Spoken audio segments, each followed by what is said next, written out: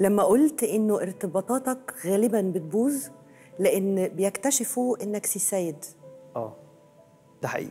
كنت واخد منه طبع سي سيد ده شوية؟ هو ما كانش سي السيد خالص. آه، أنا طبعي آه، عشرتي هقول لك صعبه مش أي حد يقدر يعيش معايا في مكان واحد مدة طويلة. ده بسبب النظام والانضباط. والنظافه المفروض أنا مش بعترف؟ قلت لك واخد آه، منه الانضباط؟ الانضباط بس مش أنا قلت لك؟ أنا أنا أنا OCD. ها. فعندي وسواس في الموضوع النظافة والنظام والترتيب. هو هو كان كان منظم في الشغل بس في البيت كان في ممكن يبقى شوية هرجلة بسيطة. أنا لا أقبل الهرجلة في البيت.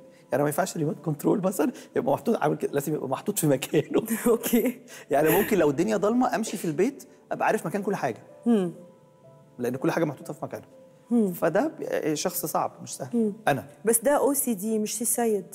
ده ليه OCD. قلت على نفسك لا هي أو؟ سي دي نخليها أو سي دي آه مش سي سيد. النهارده هغير معاكي مفاهيم كتير قوي كالعادة. دايما. بتكتشفي فيا حاجات غريبة. اكتشف اكتشف معايا.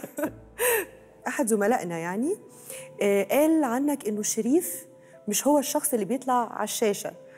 هو مش بس الشخص الهادئ ال- البشوش الحنون لا هو كمان عنده وجه آخر شرس شوية ممكن لدرجة إن لو حد مثلا أزعج صديقة ماشية معاه ممكن ينزل يضربه. انت شفتي؟ موضوع الضرب قبل كده؟ فاكرة؟ أنا حضرته أنا حضرته. انت اللي اكتشفتي أيوه أنا أول واحدة اكتشفته. أول واحدة اكتشفت إن شريف مذكور ممكن يمد إيده ويضرب. آه ده بيحصل. بس دلوقتي صعب. بس كان في فترة ما ممكن. دلوقتي بسبب ظروفي الصحية صعب أعمل كده. بس عندك الجانب ده في شخصيتك. آه، آه، مش. بيبان لينا خالص. لا خالص.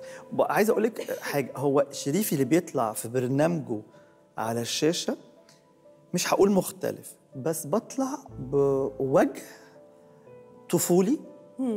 آه في شوية براءة. لأن برنامجي برنامج ترفيهي للأسرة المصرية.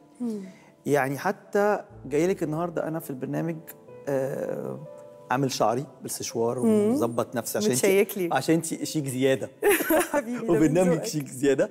بس أنا في برنامجي ما بطلعش كده أنا بطلع آه، أيوه كاجوال كاجوال قوي وما بسرحش و- شعري أصلا وكده. آه. يعني لكل مكان ليه وقته ليه ظروفه وليه لبسه زي ما بنقول. وأنا في حياتي كمان هادي مش مش مش مش مش بقعد ارقص واتنطط الناس مثلا ما بروح فرح ما انت بتعمل كده في البرنامج. البرنامج ده أكل العيش بتاعي.